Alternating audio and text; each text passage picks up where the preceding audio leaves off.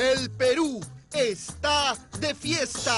Y en el siguiente reportaje, sepa qué hicieron los peruanos que no lograron salir de viaje en medio de las celebraciones por el Bicentenario. ¿Cómo te llamas? Gilbert, Gilbert, ¿cuántos años tienes?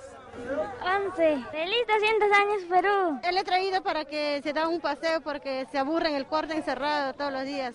Colas interminables y decenas de niños sonrientes se registraron en la puerta del Parque de las Leyendas en San Miguel, que en esta fecha especial lució abarrotado de público, aunque otros prefirieron recibir el feriado con la brisa marina de la Costa Verde.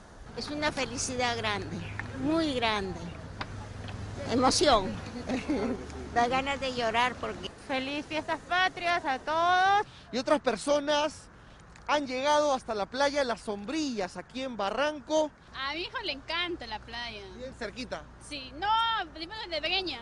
Al ver nuestro majestuoso mar, de inmediato pensamos en nuestra galardonada gastronomía, celebrada también por todos nosotros en este histórico día. Saludos, señor Felipe 28, por favor. Gracias, gracias, gracias, gracias, gracias. Mira que hay familia, a pasar.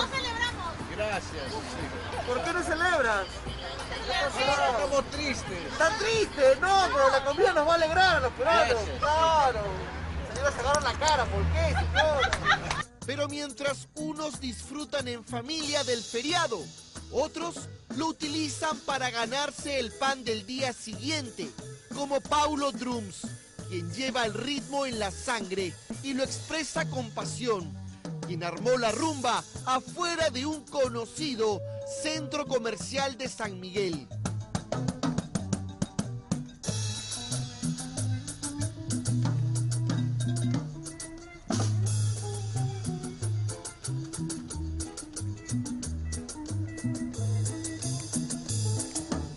Estoy expresándome desde que comenzó la pandemia.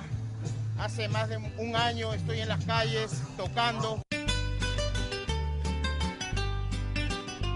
Aunque la Alameda de la Dama de Fina Estampa nos referimos a nuestra querida Chabuca Granda, estuvo cerrada en el acceso del puente Rayito de Sol. Encontramos una verdadera mixtura de tradicionales postres limeños. Me encuentro en el puente Rayitos de Sol y me he encontrado con mi amigo Andrés.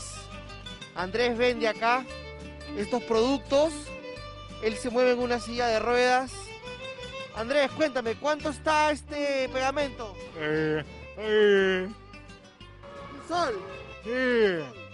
Andrés evidentemente necesita ayuda y esperemos que el gobierno que está entrando, de Pedro Castillo, pueda atender los casos como el de Andrés, que teniendo muchas dificultades, se para acá, se sienta a vender. Es realmente emocionante conocer esta historia. Andrés, te felicito. Eso te hace feliz, estar acá, ser útil, ¿verdad? Te quiero mucho, Andrés. Cuídate. Cuídate.